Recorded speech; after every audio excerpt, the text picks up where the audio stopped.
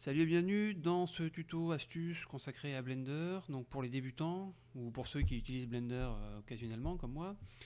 Euh, on arrive, ça nous arrive d'oublier un petit peu comment avoir ici donc un, dégradé dans le fond et euh, avoir ici une transparence sur ces, menus qui sont donc à gauche et à droite.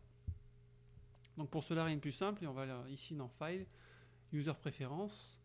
donc ici on coche Région Overlap, voilà donc on a la transparence.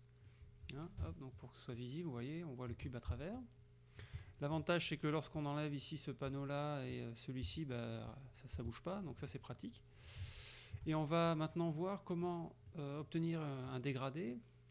Donc pour notre fond, on va ici donc dans File, User Préférences, euh, Thème, on choisit ici 3D View, il faut aller tout en bas et on coche Use Gradient. Et vous voyez, ça permet d'avoir donc euh, un dégradé euh, comme on le souhaite dans le fond. Voilà pour cette petite astuce. Je vous remercie d'avoir suivi. J'espère que ça vous sera utile et à bientôt pour euh, de nouveaux tutos et astuces.